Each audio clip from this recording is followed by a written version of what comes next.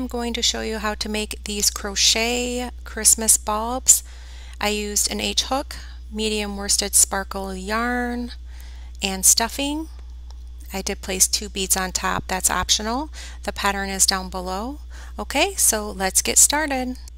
I'm going to do a slip knot onto the hook and do a chain count of 12.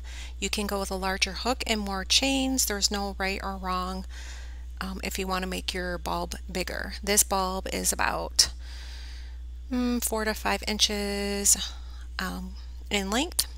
Once you have your chain count, then we can go to the next step.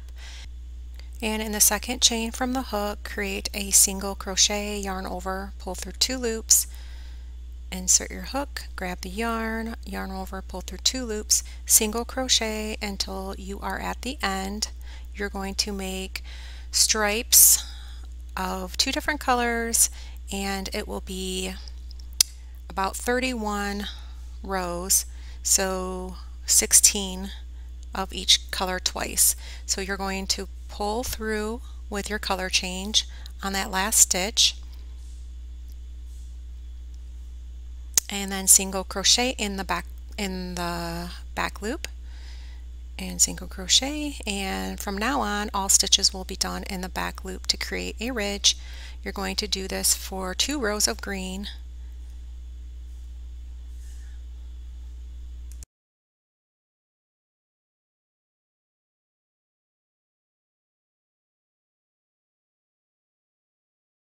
Then you're going to turn and in the back loop you're going to create a single crochet and you should have 11 of these stitches. Keep track just in case so you don't um, have less stitches and then it won't be all the same size.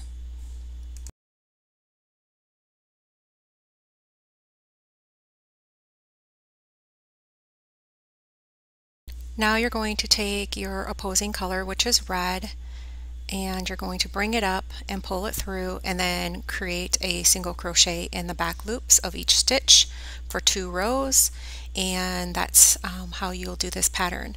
Now I did 16 rows twice of each color. On the last row I did one and then I um, single crocheted the ends together which I'll show you at the very end. And you're just going to alternate between colors back and forth and so you're going to do another row of red of single crochet in the back loops.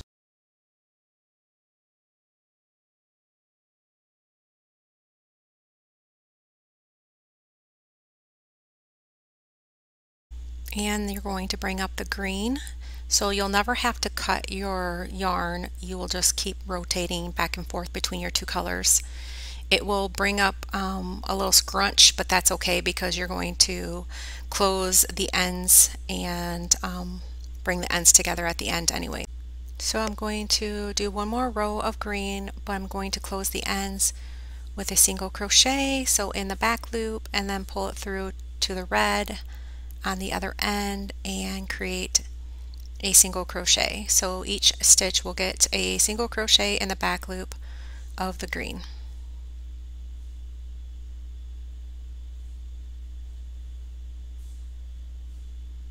And then just finish that for that side and then I'll show you how to close the ends.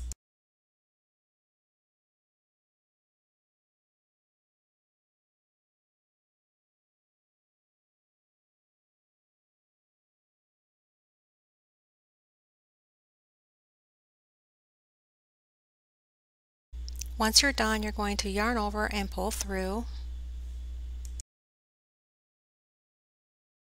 Now you can take your yarn needle and weave in all of your ends.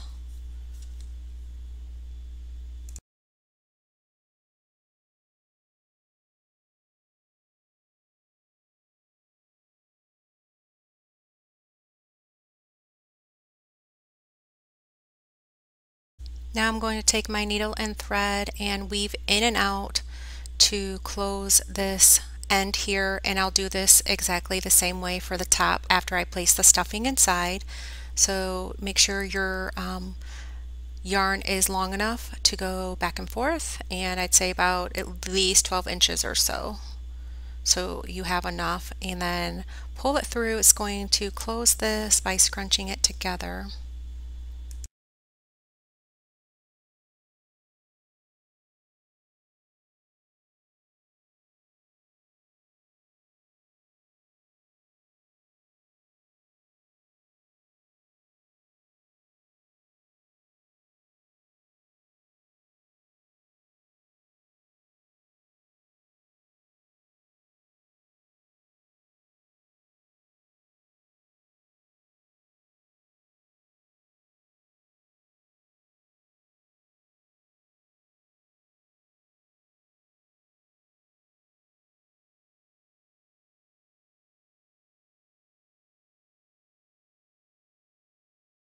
Now you can flip it over and have that part of it show. It looks better that way. And then you'll place your stuffing inside.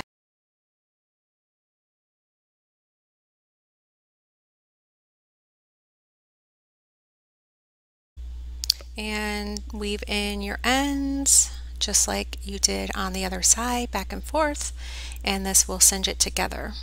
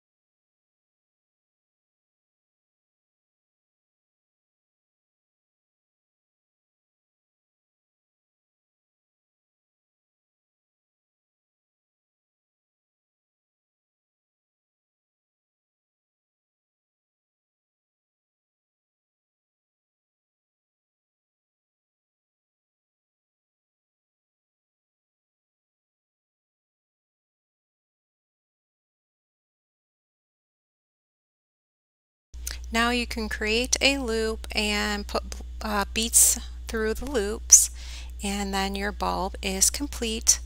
Um, the beads are optional, you don't have to do those, just add a little touch, nice little touch to it.